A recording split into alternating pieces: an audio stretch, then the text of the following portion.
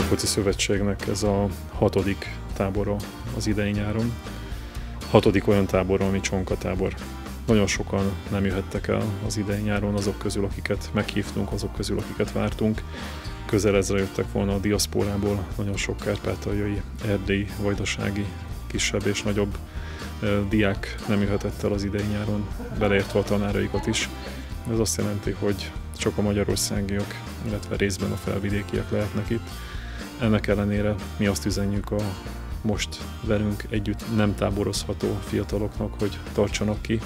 Bízunk abba, hogy ez a helyzet minél előbb meg fog oldódni, és minél előbb közösen tudunk majd találkozni.